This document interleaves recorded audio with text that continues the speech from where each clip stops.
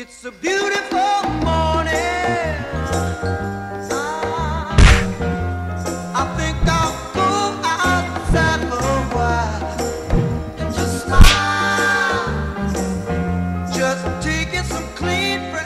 Hello everyone and welcome to another Krebs COHO replay cast.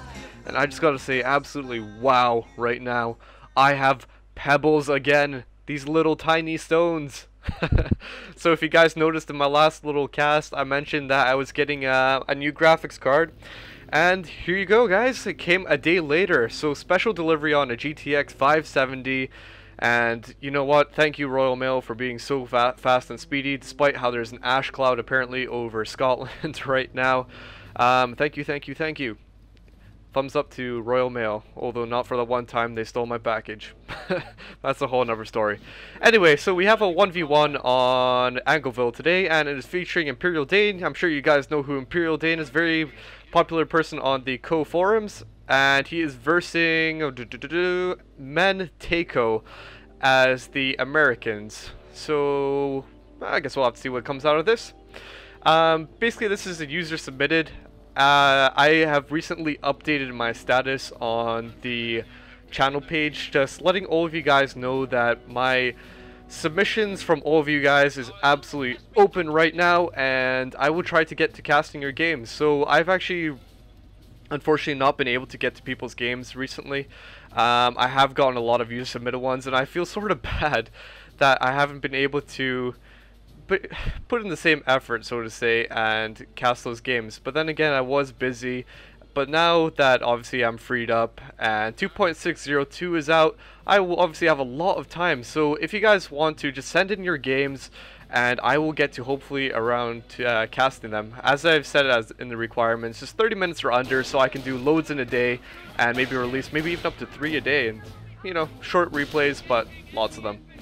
Anyway, so we have Imperial Dane playing as Panzer Elite. He has his Kettenkrad capping away. He also got three PGs, Panzer Grenadiers.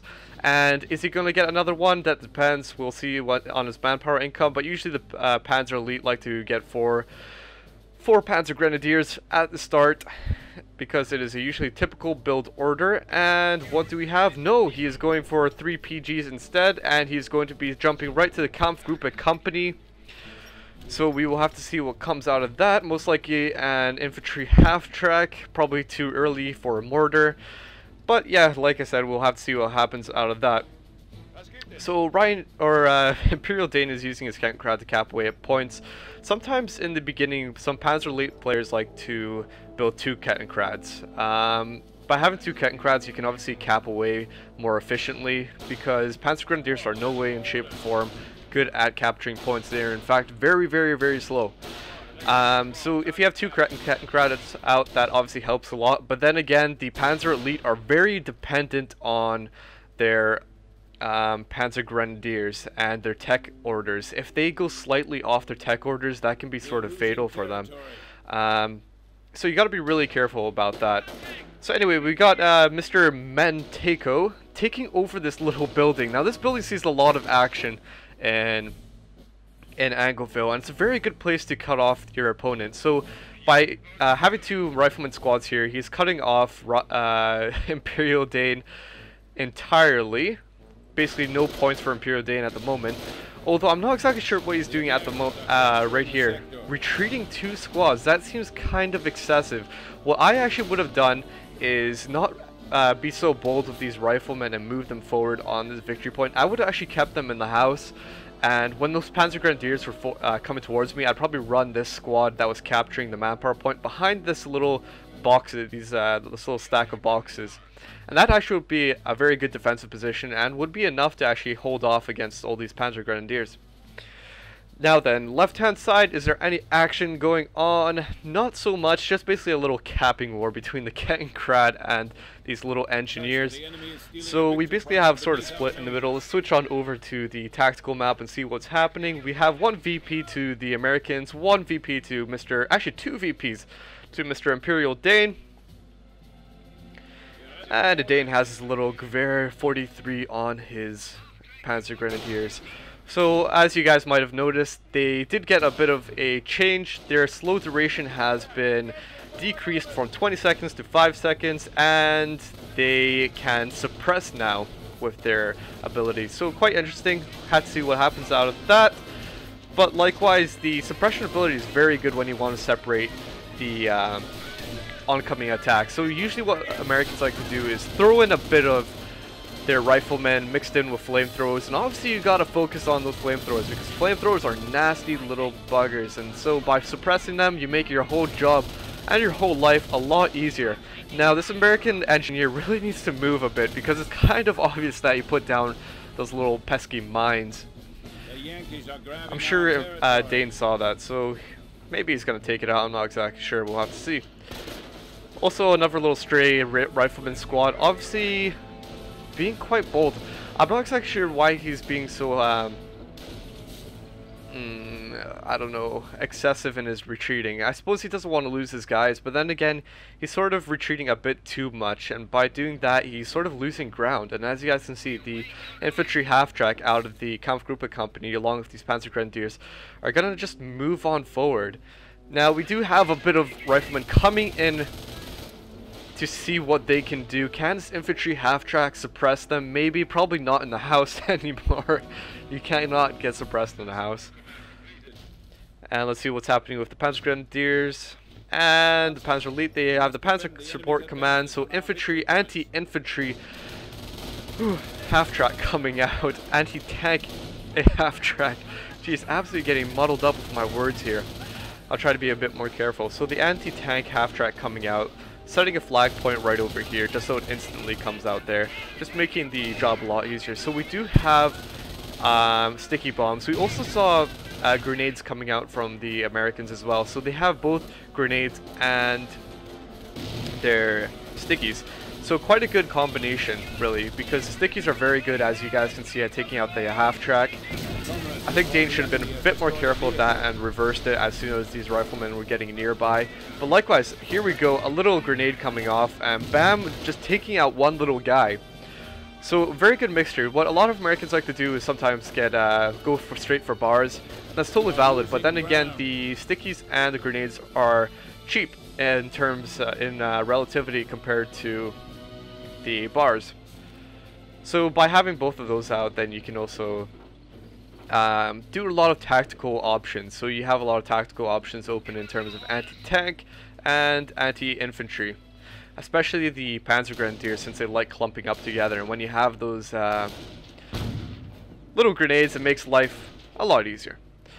So Dane obviously recognizing that there was a, a mine placed down there, just because the engineers were just standing there in such an awkward place, and it's kind of easy when um, your opponent is doing something like that, that you can tell that they obviously put down some mines. So I believe Dane is going to do something sort of funny here.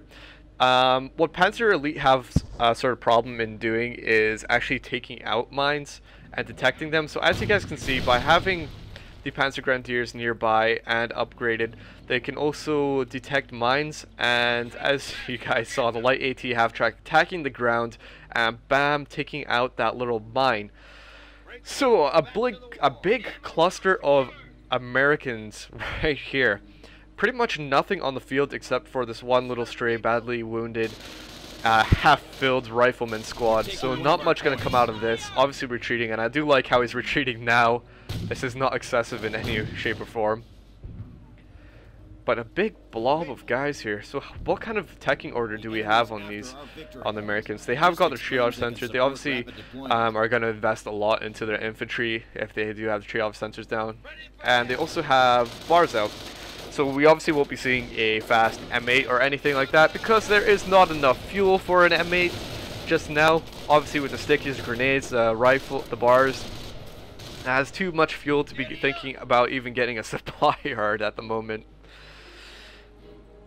And so just some sort of capping going on. Obviously the Panzer Grenadiers are quite iffy about even taking on BARs at the moment. Without their veterancy, without even a defensive veterancy, they're not going to do that much against um, BARs. They're going to get absolutely shredded. And so basically just a, a sort of defensive line being set up we do have the mines being revealed from Mr. Imperial Dane. Uh, being taken out again. So this light AT half track doing a very good job at taking out mines. And as you guys notice, the Panzer Grenadiers actually have to stop um, near the mines in order to detect them. They can't just keep on walking and all of a sudden detect them. So what a common thing is, you might be thinking, okay, but that's so many places I could stop on the map. Like, how would I even find all those mines? Well, you have to sort of know the map. In 1v1 especially, there's very, very hot spots of where mines can be. And if you notice that your opponent is has put down a mine, then it's likely for the rest of the game that they will continue putting on mine, putting down mines. So usually over here in the cross section of the road and over here in choke points, very likely places for mines. And so a bit of skirmishing going on. This one rifleman squad just barely getting away, but his BAR is close range just absolutely tearing up Imperial Dane. He has to retreat, especially when a grenade comes down like that. Even when on the retreat, Imperial Dane taking one casualty from that. So it looks like quite a turn of events. What we saw just earlier, previous to this attack, the Americans being pushed off the map entirely, bringing um, their guys in one massive swoop, managing to actually push back Imperial Dane to his base. So Dane obviously recognizing that he cannot cap on the side since there's so many infantry, he has to use his uh, his little Kettenkrad to keep on going. And the Kettenkrad, wow, did you guys see that? On the move and detecting mines. So I believe that is a point uh, 2.602 change. They, they're actually very good at spotting mines, so well done, Mr. Kettenkrad. Whether Imperial Dane recognized that, I don't believe he would have. So more capping. So here comes uh, Imperial Dane's entire force right here. Three Grenadier squads, I believe another one in the building. The light AT half track. We're losing ground out there. So in terms of tanks right now, Imperial Dane really does not have to worry that much. He um, Mr. Manteco obviously does not is not going to be getting tanks anytime soon, especially by the reinforcement of his uh, Rangers. That's definitely solidifying an infantry strategy. And by no means is that a bad strategy either, because if he has all the anti-tank, if he has the riflemen, then yeah, that's that's going to be pretty good. Only thing he really needs to be afraid of is the fact that there's a, a light AT half track means that there's the uh, Panzer Support Command, and then you might be seeing the um, Panzer IV coming out, which as you guys might know, or maybe don't know, the Panzer IV is a very massive uh, infantry killer. Basically, whenever you see that, even the Rangers have to be aware of the Panzer IV, because um, especially when it's locked down, it will do a lot of uh, damage and kills.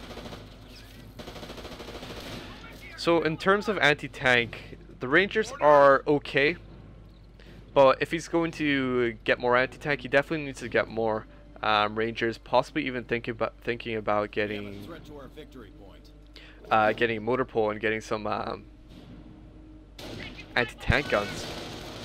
But to be honest, that's uh, that's a bit far away given his state right now. Then again, though, the good thing about this strategy about having rangers is that they come with their bazookas, two bazookas absolutely free when they're called on, 400 manpower. And the fact that Manteco has his has his uh, riflemen with their stickies will obviously be very good anti-tank. So if they can get near the Panzer IV, if they can get near the half tracks, throw on some stickies, immobilize it, then Rangers could easily get in there and for the kill. And as we see, the Panzer IV support tank coming out. This is going to be a bit menacing. Now, Manteco obviously has to be a bit aware about this and a bit afraid. In one shot, this is what I mean guys, one shot, a little cluster sort of shell taking out three guys. So that's what I mean. Even if you have one ranger squad, that's not going to be enough to take out an infantry support tank. And now we have the Fallschirmjägers coming out. So Mr. Imperial Dane has gone for his Luftwaffe. And not a bad choice either. The, good thing about the Luftwaffe, as you guys can see, is that they do uh, camouflage, well, the Fallschirmjägers anyway. But um, the Luftwaffe, when they come out, they actually have the uh, repair ability, advanced repair ability. So they can repair the light support infantry tank, no problem. And that's a sort of a common problem with the Panzergrenadiers that they have such a slow repair rate. So by at least having your Luftwaffe out, you can actually repair your tank quite speedily. And it's just always this mixture of units that you guys need. Okay, so here comes another massive swoop of American infantry. It seems like the last few replays that we've done, the Americans seemed really keen on just moving everything they have in one massive swoop. But I suppose then again, at least there's some capping going on the left hand side, and we do have another squad up here. Two squads, should I say.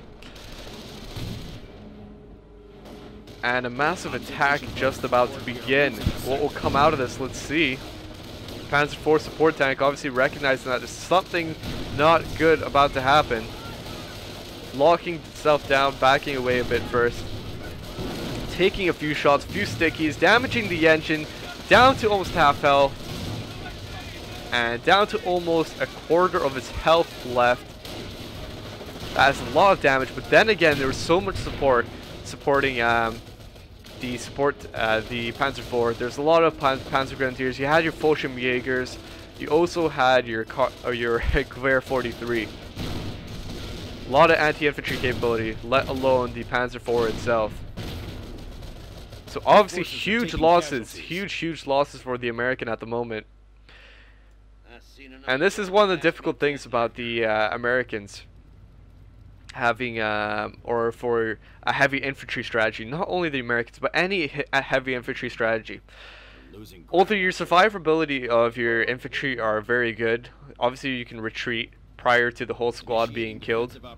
Um, the unfortunate thing is that you have to reinforce them, so that is a sort of constant sort of uh, thing you got to keep aware of the entire game, the reinforcement costs. You got to be reinforcing, obviously spending manpower, and if you don't have manpower, you can't really do that much. So what he really needs, Mr. Manteco, what he really needs is more anti-tank at the moment, and he can't get that because he has to reinforce the men that all just died just now. The beauty about having tanks is that you can just easily repair them as Imperial Dane is doing with his Luftwaffe right now.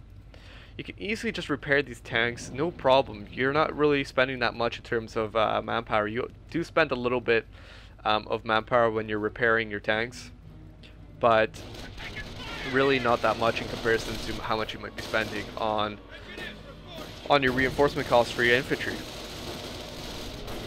So I bet this is the one final attack. Coming in. Can it do anything? Panzer IV still badly damaged, but it can at least move. That's the important thing.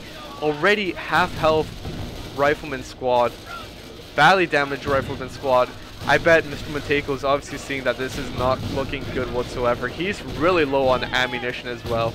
Obviously having a very hard time even doing anything. He's just th he's throwing grenades rather than um, focusing on sticky bombs. And maybe not, I'm not exactly sure what to think of that. I suppose he did need to get rid of the infantry. But then again, heavy, heavy casualties, losing his ranger squad. He does not even have enough manpower to call on another ranger squad. So his own strategy and that's the playback over. So his own little strategy that he must have uh, preemptively thought about, um, not going to work at hand. So he obviously needs to be a bit more careful about what he did there. I think investing a bit too much into into into uh, infantry might be a bit um put you in a bad position. So if you're going to actually go for a heavy infantry infantry strategy, what you really need to try and capitalize on is say a medic tent because at least you might be getting technically some sort of refund of all that manpower that you've been spending. Okay, but anyway, this was the first little game that I casted, user submitted. So thank you again, Mr. Imperial Dane, for submitting this little replay. And then again, it is open to all of you guys to send in your replays. So until next time, guys, have a nice day.